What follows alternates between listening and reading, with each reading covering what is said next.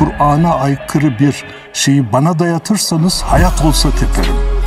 Hayat olsa kabul etmem. Ya da haksızlık kimden gelirse gelsin, kime yönelik olursa olsun mazlumdan yana zalime karşı. Zalim babam da olsa, mazlum düşmanım da olsa. Benim ne yaptığımı Allah biliyor. Ben halkım için savaşıyorum. İnsanların ne düşündükleri umurumda değil. Tüm milletimizin mübarek Ramazan ayını tebrik ediyorum ve bayrama da sağlık, huzur, afiyet içerisinde Cenab-ı Allah aziz milletimizi, bütün İslam alemini ulaştırsın, kavuştursun duasını yapıyorum. Hepimizin bildiği gibi Türkiye pandemi ile mücadelede giderek daha iyi bir konuma geleceğine, maalesef tam tersine geçen süreçte daha kötü bir noktaya geldi. Ülkemiz son günlerde 100 bin kişide görülen vaka ve ölüm sayısı bakımından dünyada en kötü durumdaki birkaç ülkeden bir tanesi durumunda. Bu karanlık tablo karşısında hükümet bugünden itibaren başlamak üzere yaklaşık 20 günlük bir tam kapanma ilan etti. Hükümetin bu kararına elbette ki karşı değiliz. Sağlığımız için bilim ışığında gerekli tüm tedbirler elbette ki alınmalıdır. Ancak bu tam kapanma şimdiye kadar geçen tam 14 ay boyunca neden yapılmadı? Bu kadar vaka ve can kaybı olduktan sonra mı aklımız başımıza geldi? İkincisi bu nasıl bir kapanma ki nüfusun neredeyse yarıdan fazlası istisnalar kapsamında kapanmadan muaf tutuluyor. Genelgede tam 40 madde kapanmadan etkilenmeyecek istisnalı gruplar sayılıyor. Neredeyse çocuklar ve yaşlılar dışında herkes kapanmadan muaf tutuluyor.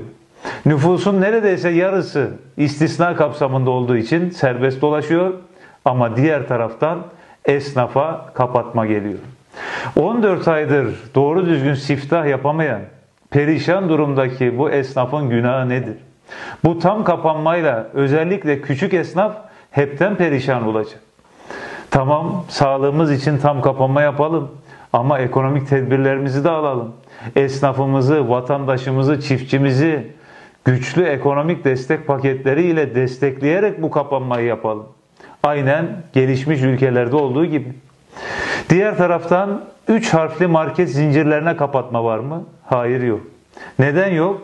Çünkü bunlar market statüsünde gıda ürünü satıyorlar. İyi de bu zincir marketler gıda ile birlikte gıdadan başka her şeyi de satıyorlar. Kırtasiyeler, oyuncakçılar, ayakkabıcılar, konfeksiyon mağazaları kapalı, küçük esnaf kapalı ama bütün bu ürünleri satan 3 harfli zincir marketleri açık. Bu küçük esnafa yapılan büyük bir haksızlık ve adaletsizliktir. Yazıktır, günahtır. Zaten 14 aydan beri bu küçük esnaf perişan oldu. Bu 20 günlük tam kapanmayı ilan ettiniz de bu kapanmayla birlikte açıklanması gereken bütün milletin beklediği destek paketi, ekonomik destek paketi nerede? Herhangi bir yeni destek de yok. Maaşlı çalışan personel ne olacak? Esnafın hali ne olacak? Kira ödemeleri, çekler, kredi taksitleri ne olacak? Yevmiye ile geçinenler ne olacak? Günlük kazandığını akşam yiyenler ne olacak? Maalesef onlara soğan, patates, maske ve kolonya dağıtımı kaldı. Sadece 5 tane imtiyazlı holdinge bugüne kadar tam 128 kez vergi muafiyeti çıkarıp devletin milyarlarca liralık alacağından vazgeçiyorlar. Yani aslında milletin alacağından vazgeçiyorlar ve o millete, o vatandaşa da patates, soğan dağıtımı kalıyor. İmtiyazlılara gelince destek çok, vatandaşa gelince destek yok. Esnafa gelince, küçük esnafa gelince destek yok. Bu noktada diğer önemli bir soru da şudur. Biz şimdiye kadar bu geçen sürede neden yerli aşımızı hala üretemedik? Kazakistan dahi Kazvak adlı yerli aşısını üretti. Bizde daha yerli aşı ortada yok.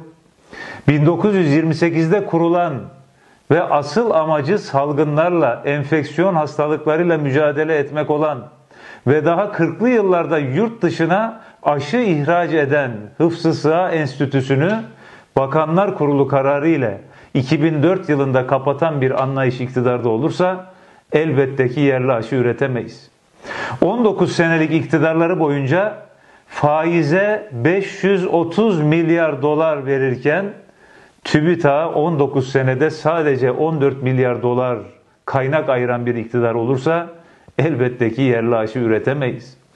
19 sene boyunca ARGE'ye, sanayi ve teknolojiye kaynak ayırmayan, üretime kaynak ayırmayan, kaynakları, imkanları betona, çimentoya ve imtiyazlara aktaran bir iktidar olursa elbette ki yerli aşı üretemeyiz.